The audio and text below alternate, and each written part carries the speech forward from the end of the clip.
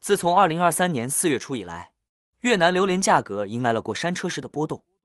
尤其是湄公河三角洲种植的榴莲，价格暴跌百分之三十到百分之四十，当地批发价格每公斤五万越南盾至五万五千越南盾，大约十四点七一元到十六点一九元之间。种植大部分榴莲的越南黔江省和秦居地区的榴莲价格比二月份的时候暴跌了百分之七十左右。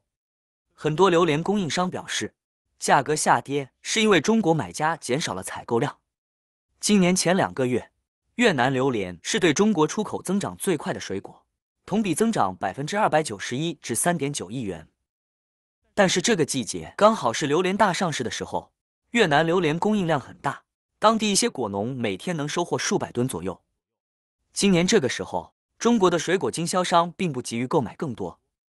因为泰国榴莲和菲律宾榴莲也到了成熟收获的季节，泰国长期以来一直向中国出口大量的榴莲，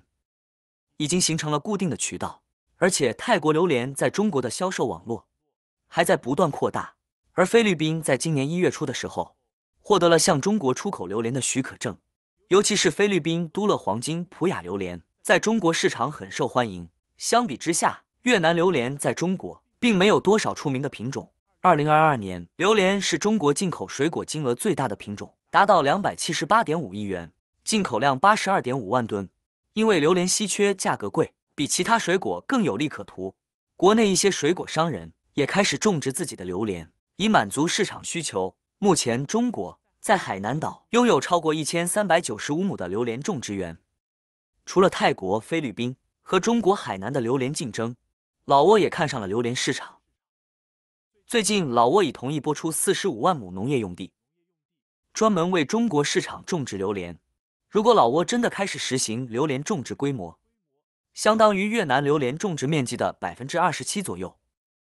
在可预见的未来，越南榴莲将不可避免的面临更多的市场竞争。或许它可以超过老挝榴莲，但在泰国榴莲和菲律宾榴莲面前，并没有明显的优势。一旦中国的榴莲种植成规模化之后，